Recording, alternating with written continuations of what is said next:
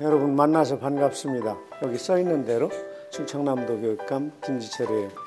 어, 오늘 학교 오는 길 안전했나요? 네. 아 그렇군요. 친구들 몇 명이에요? 여섯. 열여섯. 음, 그렇군요. 조금 있으면 열여섯 살 되겠네. 예. 아 썰렁해.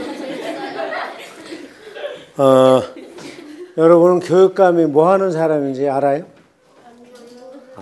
아, 충남에서 다니는 유치원부터 고등학교까지 여러분들이 공부를 잘 할 수 있도록 어, 정책을 만들고 또 지원하는 일.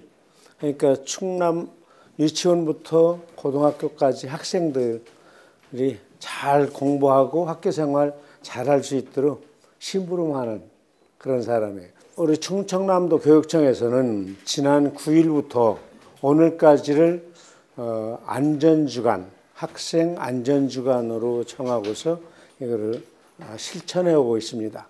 그런데 이게 학생 안전주간에는 좀 슬픈 일이 쌓여 있죠. 뭔지 알아요? 아, 세월호 사건. 오늘이 며칠? 4월 16일. 그렇습니다. 4월 16일에서 일, 그 일주일 앞에서부터 정해가지고 이렇게 하는데 오늘은 국가에서 어, 국가 안전의 날로 이렇게 정했습니다. 이게 2014년 5년 전에 세월호를 겪고 나서 너무도 뒤늦게 이런 것을 판단하게 된 어, 늦었지만 그래도 어, 이렇게 결정을 하게 돼서 다행이죠. 자, 이 사진 뭔지 알겠어요? 뭐예요? 이 사진이? 세월호 배가 뒤집어진 거죠. 이후일 한번 볼까요? 93년 10월 달에 서해 페리오 침몰 292명 사망.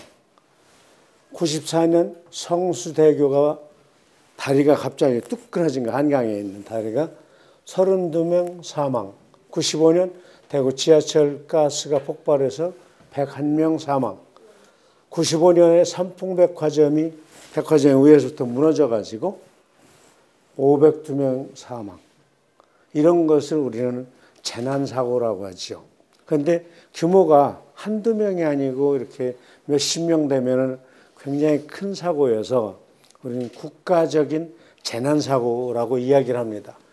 이런 끔찍한 일들을 겪었음에도 2014년도에 우리 세월호 침몰 사고로 해서 어, 경기도 안산의 단원고등학교 여러분의 언니, 오빠, 형, 누나들 250명이 세상을 떠납니다. 그리고 그 배에 타고 계신 우리 선생님들, 또 일반인들, 배에서 일하는 분들 포함해서 304분이 희생되는 이런 기가 막힌 비극이 일어났습니다.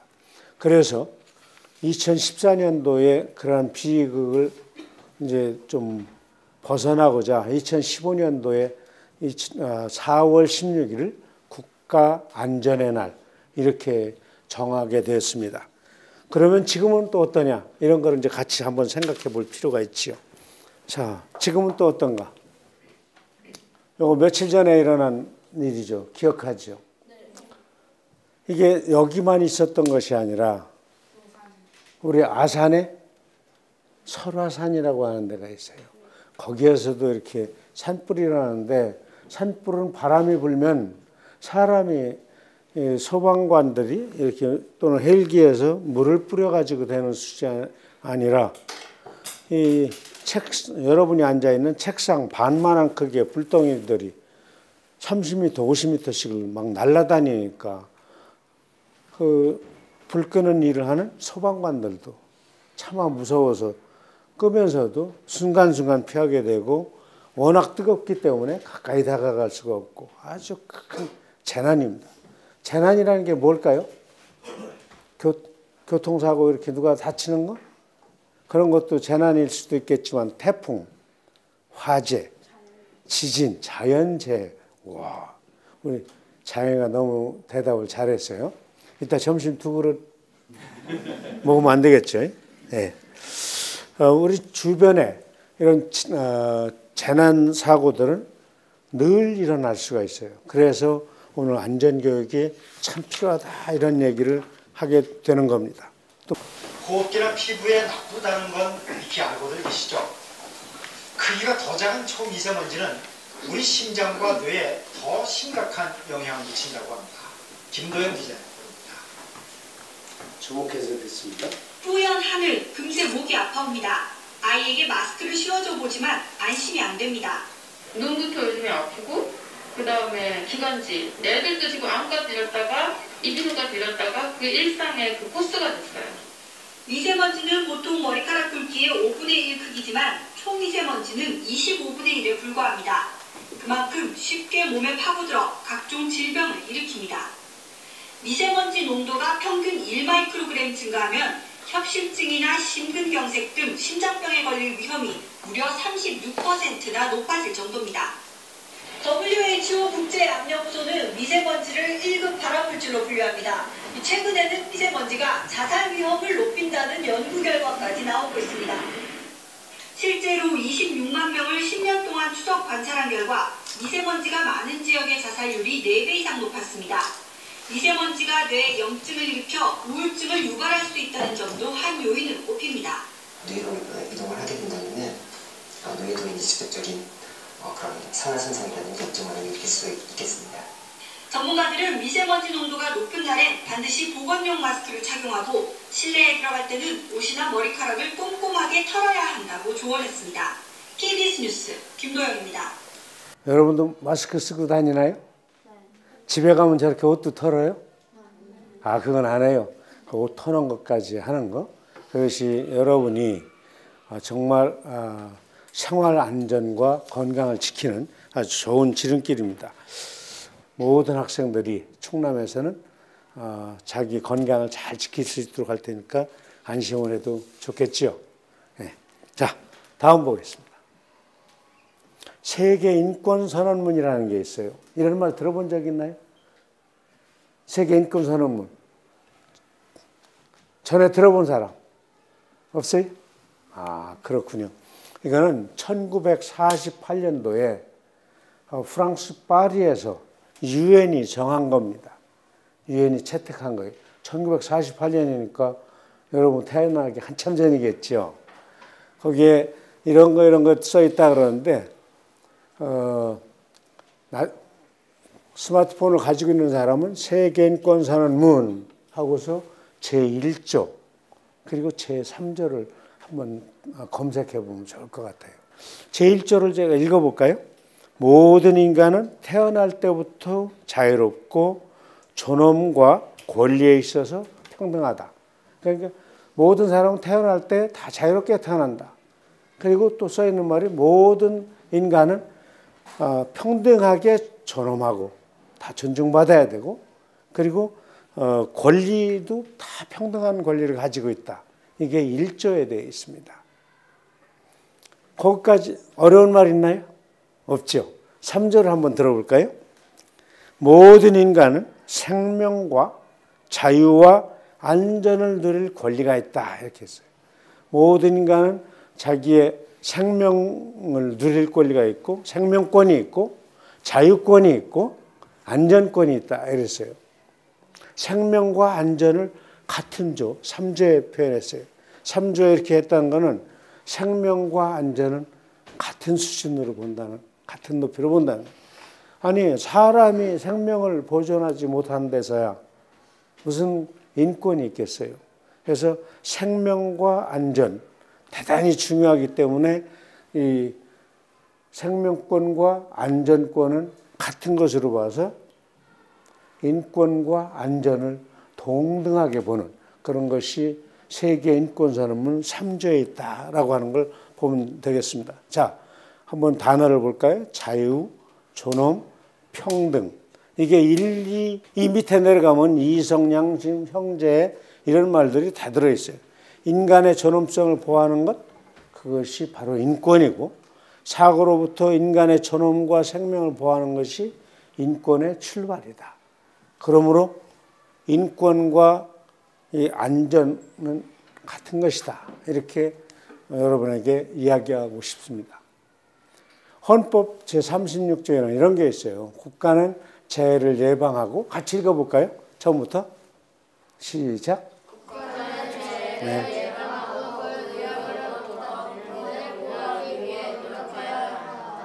노력해도 된, 된다? 꼭 해야 된다? 꼭 해야 한다는 거예요? 해도 좋고 안 해도 좋고.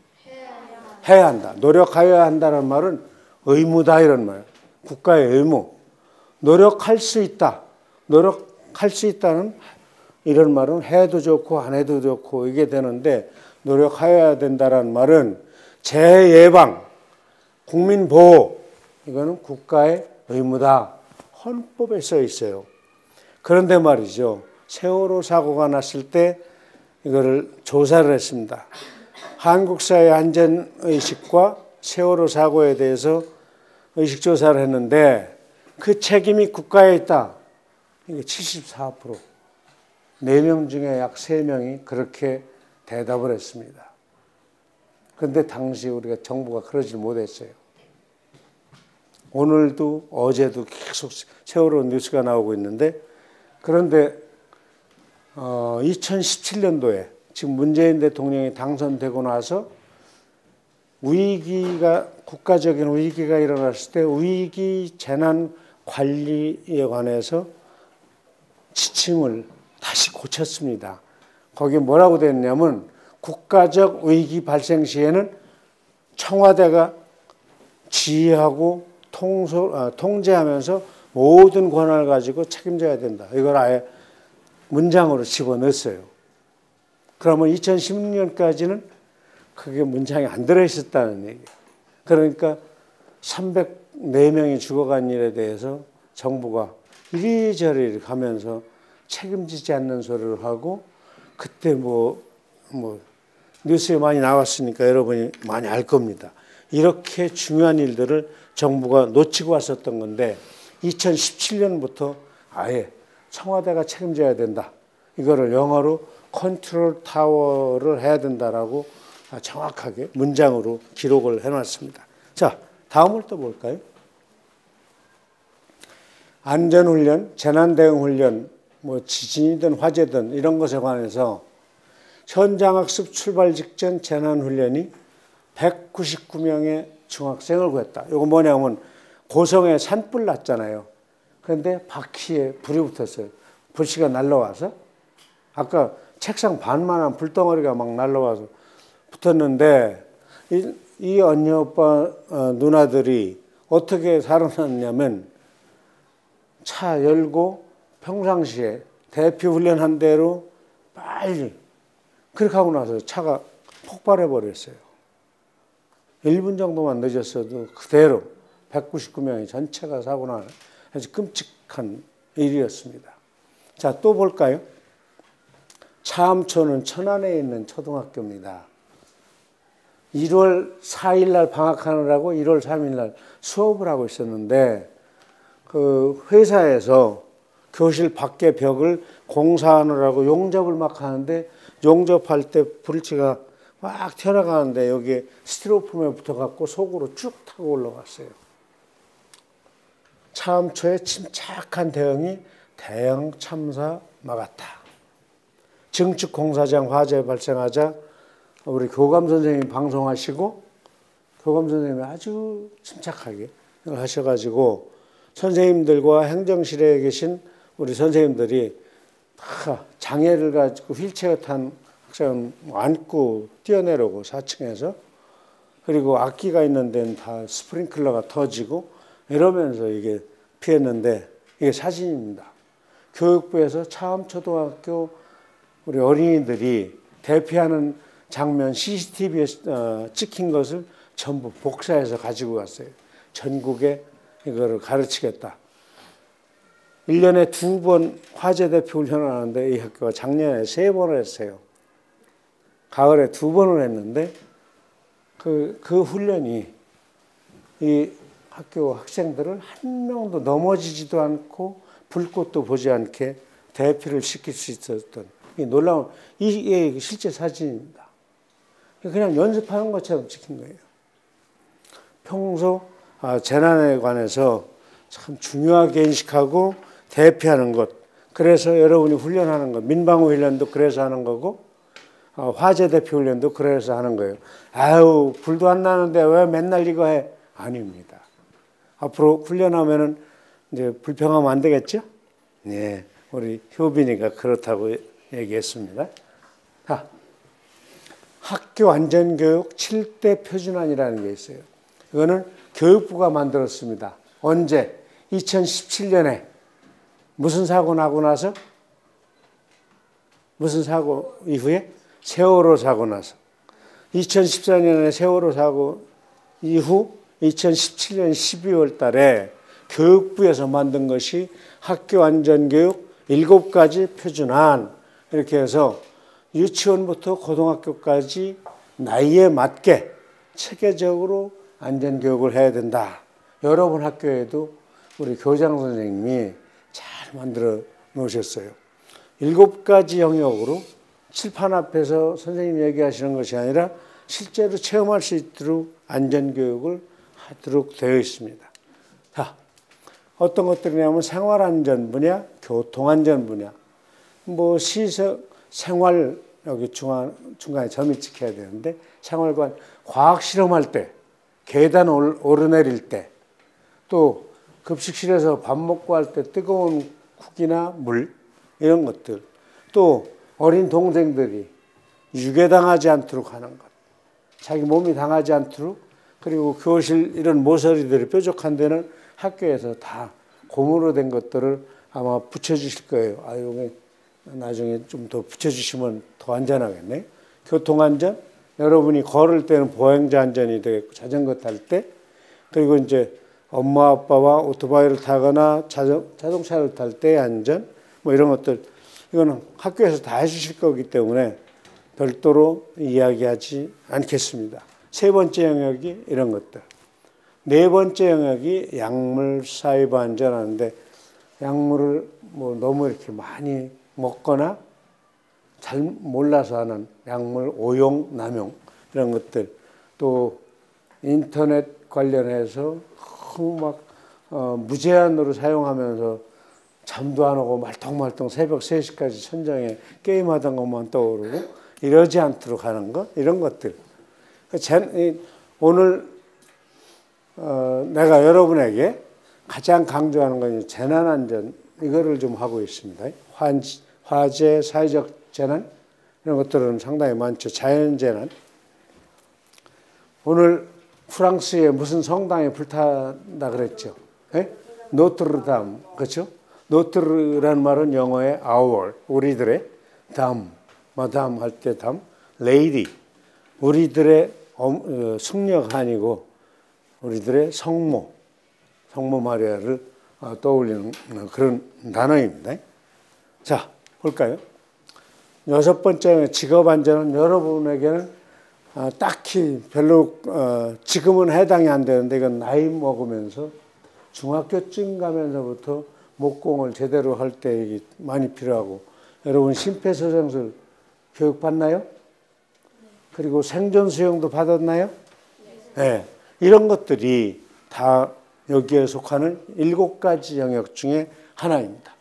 자, 아까 안전과 인권은 안, 안전은 생명과 직결되기 때문에 생명이 없는 인권이라는 게 무슨 의미가 있어요?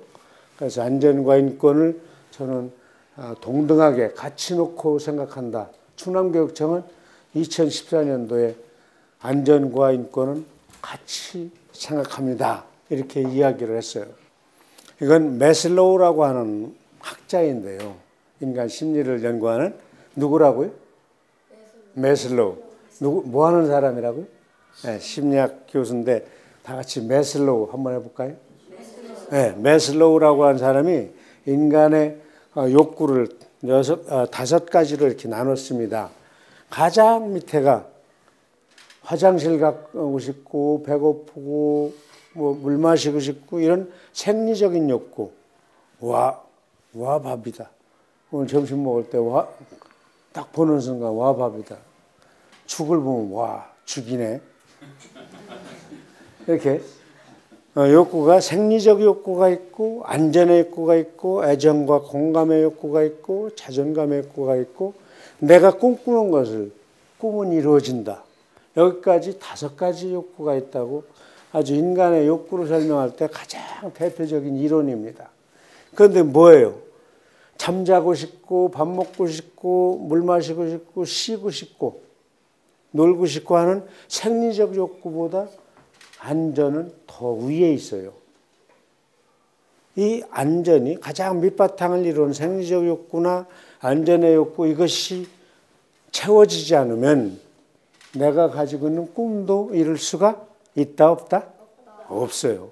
그렇게 안전이 중요하다 이 얘기를 하는 거예요. 제가 얘기하는 거 어렵나요? 안전하지 못하면 꿈이고 뭐고 다 꽝이구나. 아, 너무 쉬운 말로 했네. 어, 내가 진짜 소중한 사람인데 자존감이 이게 없는 거죠. 목숨이 없는데, 그렇지? 목숨을 잃으면 다 잃는 거잖아요, 그죠? 그래서 이 안전과 인권을 아, 같은 격으로 동격으로 놓고 어, 있습니다. 자, 또 보겠습니다. 충남교육청은 교육 중요하지만 교육이 플러스 안전, 교육에다가 안전을 더해서 행복이 가득한 365일 행복한 안심교육을 하고자 애를 쓰고 있습니다. 매년 4월 16일은 국민 안전의 날, 아까 말씀드렸고 매월 4일은 학교 안전 점검의 날. 어, 교장 선생님께서 아마 행정실장님하고 같이 상의해서 뭐 하나 표지판 이렇게 놓고서 그날 안전 점검을 쭉 합니다. 기계 같은 거 대고서 삑삑삑 소리 나는 거 가지고 전기 안전 시설이 괜찮은지 물 이런 거 터질 일은 없는지 화장실은 괜찮은지 계단은 어떠한지 이런 것들 이게 불행하게도 4월 어, 5년 전에 언니 오빠 형 누나가 이렇게 바닷속에 저 세상을 떠나고 난 뒤에 우리가 뒤늦게 어른들이 부끄럽게도 정말 어른들이 부끄럽게 뒤늦게 깨달아서 4월 16일 그리고 매월 4일 이렇게 정했습니다. 다시는 세월호의 아픔이 없는 그리고 삼풍백 과정 500여 명이 죽어가는 이런 정말로 아주 원시적인 비극이 없는 그런 대한민국을 만들기 위해서 충남교육청은 생명 존중, 인간 존중, 안전한 학교를 만들기 위해서 최선을 다하겠습니다. 부디 늘 건강하고 그리고 친구들을 사랑하고 그리고 남의 어려움에 빨리 손 내밀 줄 아는 따뜻한 보성초린이가 되기를 바라면서 오늘 안전 수업을 마치겠습니다. 여러분 아주 경청해 주셔서 고맙습니다.